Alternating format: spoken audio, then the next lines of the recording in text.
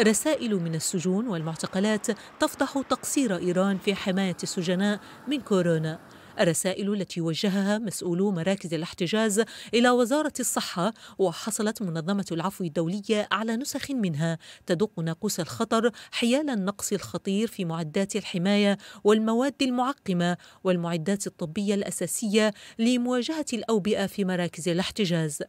رسائل غضت عنها الوزارة الطرف تقول العفو الدولية في ظل الوضع الوبائي المتفشي والمتفاقم في إيران مشيرة إلى أن التفاصيل الواردة في هذه الخطابات تتعارض بشكل صارخ مع التصريحات العلنية لمستشار رئيس مصلحة السجون الإيرانية أصغر جيهان كير الذي نفى زيادة معدل الإصابات والوفيات جراء فيروس كورونا في السجون.